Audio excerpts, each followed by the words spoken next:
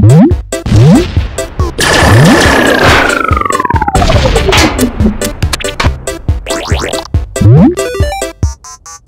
everyone, it's Kelso from the AbleGamers charity.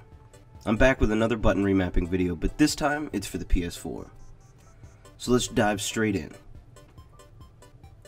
Here we are at the main screen for your PS4. We want to go up to the top of the user interface where we can see the settings toolbox on the right side. Go into your settings and select accessibility.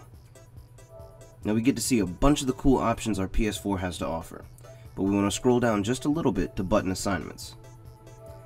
Click that checkbox so we can enable our custom button assignments. Then just like magic there's a second option to customize our buttons. After we click that, it'll bring up a page that has all the buttons on our DualShock 4 controller. This shows each and every button and what it is mapped to. We can then select whichever button we want. I'm going to start with triangle since it's the first button. Once we click our triangle button, a side menu will pop up with all the other buttons we can map our triangle button to.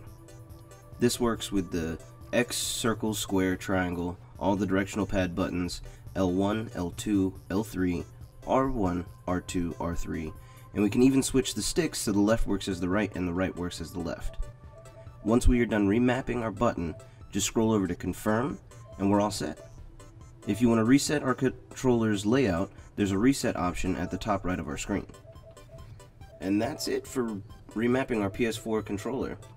Make sure to follow us on Facebook, Twitter, Twitch, and subscribe to our channel so you can see what's going on with our charity and accessibility in the gaming world. Thanks for hanging out with me again, and I'll see you next time. Have a